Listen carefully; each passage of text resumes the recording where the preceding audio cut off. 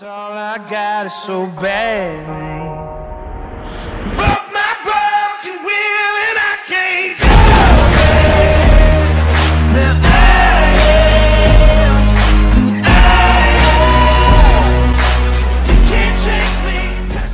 هلا والله. السلام عليكم ورحمة الله وبركاته. كيف حالكم طيبين؟ بخير مبسوطين. رجعنا لكم بمقطع جديد ومقطع Red Dead Redemption 2 زي لها طبعا في مقطع اليوم راح نناقش سويا بعض النقاط والألغاز الجديدة اللي انتشرت في الأيام اللي راحت واللي حولها جدل كبير جدا. إذا عندك أي رأي حول أي موضوع من مواضيعنا شارك رأيك مباشرة في خانة التعليقات. لكن قبل ما نبدأ في المقطع أتمنى أنك تشترك في القناة لو ما كنت مشترك وتفعل جرس التنبيهات وأيضا لا تنسى أنك تحط اللايك ثانية واحدة من وقتك راح تصنع يومي كامل فيلا نخش في المقطع. اولا زي ما تعرفون آرثر مورغان كان عنده زوجة وابن لكن ما كان يتكلم عنهم كثير.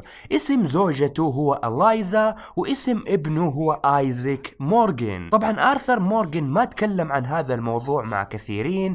الشخص الوحيد اللي يعرف بموضوع زوجة وابن آرثر هو رينز فول رئيس الهنود الحمر. ودار حوار بين آرثر مورغان ورينز فول حيال هذا الأمر. تعالوا نشوف You know, I had a son once, years ago. Don't talk about him much. No, what was his name? Isaac. His mother, Eliza, the waitress I met. When she got pregnant, she knew who I was, what my life was. I didn't want to promise nothing I couldn't keep, but I said I'd do right by them. Every few months, I'd stop by there for a few days. He was such a good kid. She was too, I guess. Just a kid, 19. What happened? I got there one day and saw two crosses outside. And I knew right away. Turned out some bastards had come through, robbed them, shot them dead, and offered ten dollars. It hardened me, feeling that kind of pain.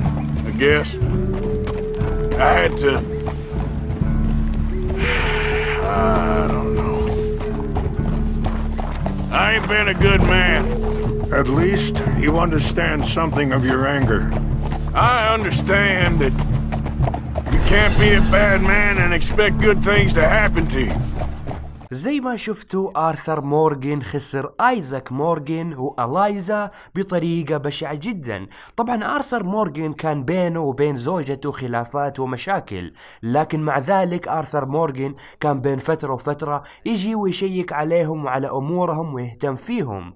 لكن في أحد الأيام آرثر مورغان جاء للمنزل وعثر على جثة ابنه آيزاك وزوجته ألايزا مرمية. في الأرض. للأسف إنه في عصابة هجمت عليهم وقتلتهم من أجل مبلغ معين. تتوقعون إنه مبلغ كبير؟ لا بل إنه مبلغ جدا جدا قليل ألا وهي عشرة دولارات فقط. هذه العصابة القذرة قتلت أم مع ابنها عشان عشرة دولار فقط. فسؤالي هل تتوقعون آرثر مورغان انتقم من العصابة أو لا؟ طيب في نظرية قوية جدا انتشرت في اليومين اللي راحت وتقول إنه هذا المنزل هو منزل آرثر مورغان اللي اعتاد إنه يعيش فيه وزوجته وابنه كانوا موجودين في هذا المنزل هل مع النظرية أدلة يا صالح؟ نعم الدليل الأول من الحوار اللي دار بين آرثر مورغان ورينز فول آرثر جاء للمنزل ووجد عائلته مقتولة فهو اضطر إنه يدفنهم وفعلا دفنهم أمام المنزل بالضبط. وزي ما تشوفون في هذا المنزل فعلا راح تحصل قبرين لشخصين. الدليل الثاني الدليل الثاني أنا أشوفه يقوي الأول في تريلر اللعبة راح تحصل نفس القبرين وآرثر مورغان ماشي من عندهم. يعني كأنه آرثر مورغان دفنهم وخلص بعدها مشي من عندهم ونشوف نشوف هذا الشيء في هذه الصورة زي ما تشوفون. الدليل الثالث لو خشيت المنزل راح تحصل حيوان آرثر مورغان الروحي ألا وهو الغزال زي ما تشوفون. وهذا أيضا دليل قوي على أنه هذا المنزل هو منزل آرثر مورغان. طبعا هي نظرية تحتمل الصواب والخطأ. ممكن أنت تقول صحيحة ومعاك أدلة. في شخص آخر يجي ويقول خاطئة ويعطيك أدلة. يعني هي نظرية تحتمل الصواب والخطأ. فعموما شاركونا آراءكم في خانة التعليقات حيال هذه النقطة. هل تشوفون أنه هذا المنزل هو فعلا منزل آرثر مورغان وعائلته أو لا؟ طيب خلونا ننتقل للموضوع اللي بعده. في أحد الأشخاص في موقع Reddit لاحظ شيء مهم وغريب جدا. وهو أنه بعض القبور في Red Dead Redemption 2 لما تطخها ما تتكسر بينما البعض الآخر لما تطخها فعلا تتكسر. أحد الأشخاص رد عليه وقال أنه نفس هذا الشيء واجهناه وحدث في Red Dead Redemption الجزء الأول لكن اكتشفنا لاحقا أنه القبور اللي ما تتكسر طلعوا منها الزومبي في Undead Nightmare. خلوني ألخص لكم الموضوع بعض القبور في Red Dead Redemption الجزء الأول كانت لما تطخ عليها ما تنكسر.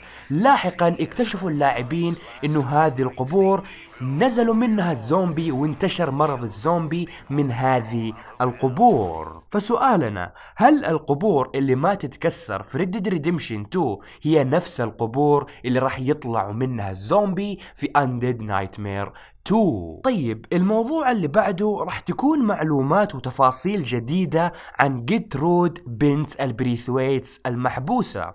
طبعا موضوعها طويل ولخصناه تلخيص كامل وفصلنا فيه تفصيل والمقطع راح يطلع لك في خانة التعجب الآن. طيب جرترود لما تجي عندها راح يصير التالي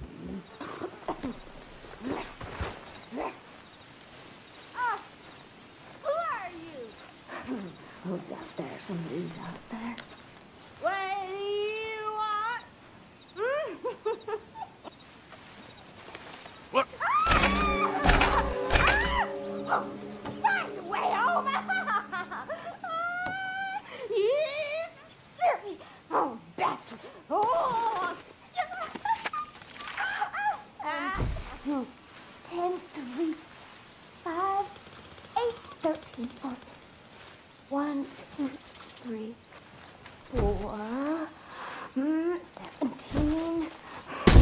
29, 13, 1, 2, 3, 4, 5, 17, 8, 9, 3, 1, 2, 4, 7, 5, 9, 1, 1, 1, 1, 1, 2, 3,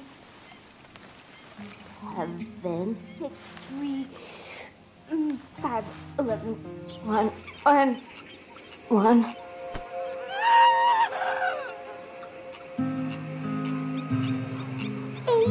nine, three, one, two, three, four, one, two, one.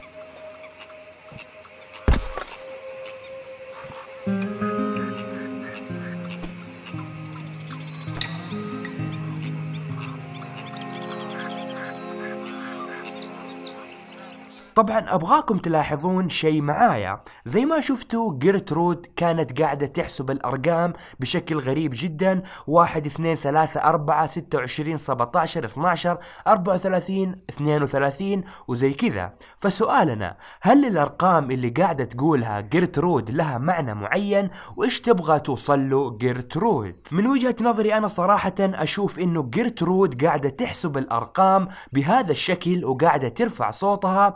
يعني كأنها تحاول تثبت لعائلتها البريثويتس إنها ما هي مريضة وإنه بإمكانها تتعلم وتصبح من أعلى المراتب.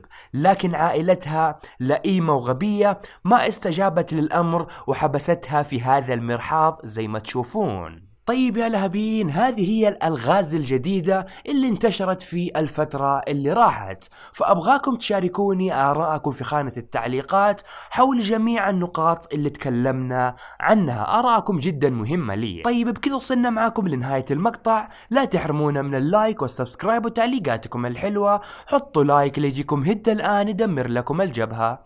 يلا سلام عليكم.